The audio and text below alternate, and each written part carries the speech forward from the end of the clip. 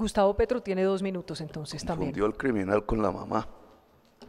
Hay que ponerle cuidado a las noticias. El expresidente Uribe cometió un enorme error cuando negoció políticamente con los paramilitares. Una negociación política es sobre distribución del poder político. Los empoderó y hijos del paramilitarismo en el Urabá son hoy el clan del Golfo. El presidente Uribe les prometió a los paramilitares curules ilimitadas en el referendo que propuso el pueblo colombiano, regaladas. No se puede hacer una negociación política con una organización multicrimen, y subrayo esta palabra, no se dedican solo al narcotráfico, sino a diversos crímenes, entre esos el gota a gota. Esa organización multicrimen no puede tener negociación con el gobierno ni con el presidente, ni debe versar sobre el poder político.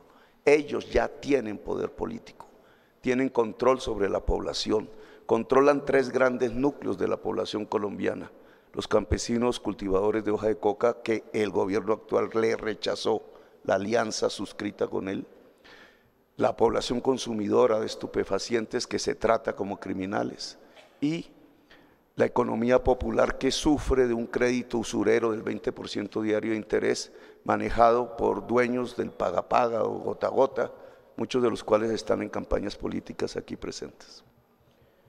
Eso es poder político de una banda criminal, juntura del crimen con la política.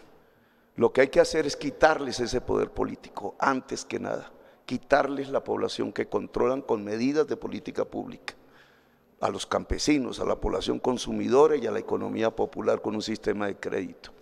Y debilitados es posible no solamente vencerlos militarmente, sino someterlos colectivamente a la justicia, no al gobierno.